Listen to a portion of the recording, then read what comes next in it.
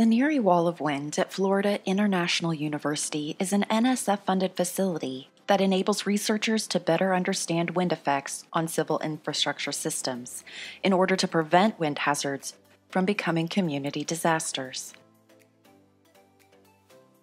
The NHERI WOW experimental facility is powered by a combined 12 fan system capable of repeatable testing in up to 157 mile per hour wind speeds.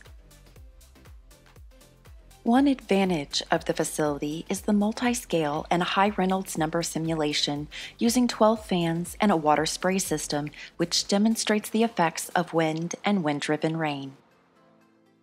The 16,000 square foot fenced off secure area enables researchers to plan and perform destructive tests for up to Category 5 hurricane wind speeds. Using a wide range of equipment instrumentation, and experimental simulation protocols, the distinguished group of faculty, staff, and the well trained team of technical and operations personnel are ready to support your world class research.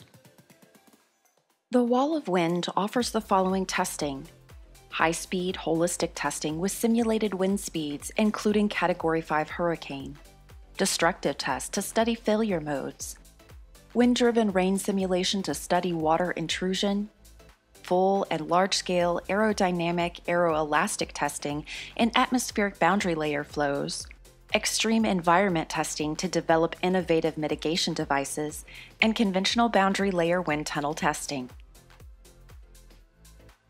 If you are interested in learning more about the resources at the NHERI FIU Wall of Wind Experimental Facility and how they can support your research, contact Arindam Chowdhury.